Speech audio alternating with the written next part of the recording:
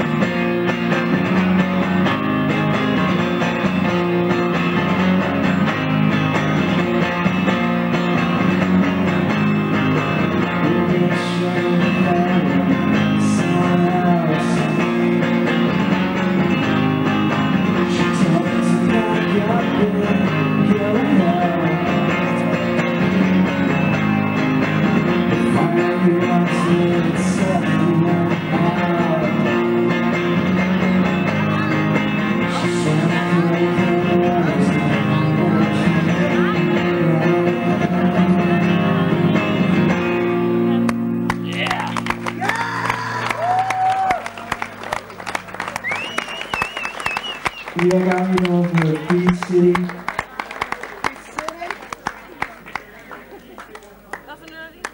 Hvis der er nogen, der ikke allerede kender hende, så er det jo Charlie Fu.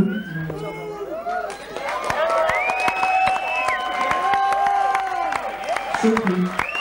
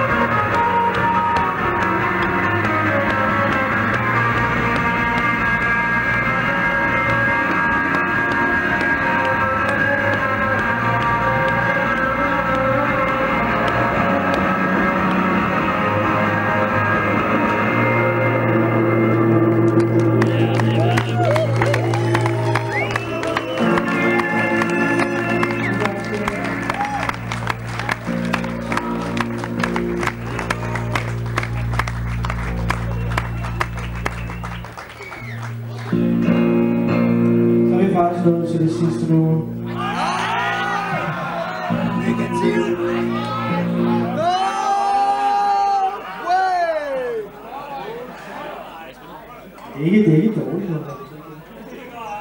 Men til gengæld så har vi rigtig mange ekstra numre, så hvis det er, ikke? Det er nummer, som hedder Bowels of the Beast, som handler om at være i Las Vegas og så simpelthen blive taget i røven, ikke? Kender godt.